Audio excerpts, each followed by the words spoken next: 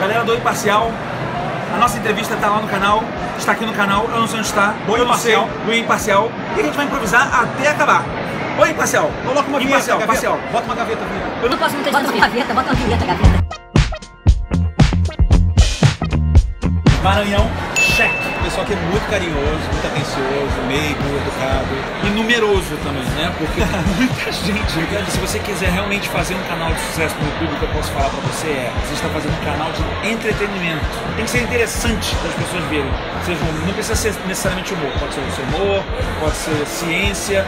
Você tem que falar isso de uma forma interessante. Seja você mesmo também. né? Seja você mesmo, é porque às vezes a pessoa reaciona mesmo e fica só no, mundinho que não dá pra outra pessoa entender. Então é uma mistura de faça o que você ame, mas se preocupe em, em fazer um bom entretenimento que seja legal de ser visto.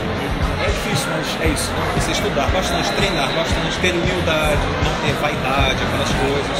E você querer fazer pela arte mesmo, não querer ficar famoso, ah, eu quero ser uma voz famosa. Aí você vai pelo caminho errado. É que eu esqueço, eu sou muito distraído. Então às vezes a pessoa chora assim, eu, caramba, o que, que aconteceu? Aí a pessoa tá chorando por minha causa. Eu falei, ah, é por mim, desculpa, não, é por gosto de você.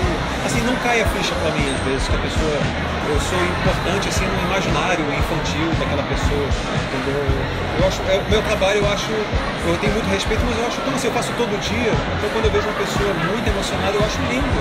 Eu vou sempre relembrando disso, que as pessoas gostam de mim, isso é emocionante. Não te faz de doido que pau te acha. Te dou-lhe um bog.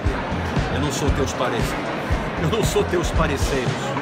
Posso guardar isso aqui? Pode. Minha irmã, larga de ser esparrosa. Tu é muito amostrada. Miguel, larga de ser canhengo e bora pinhali merendar. Andy, tu tá parecendo o menino do buchão. Éguas, doido. Errei, errei.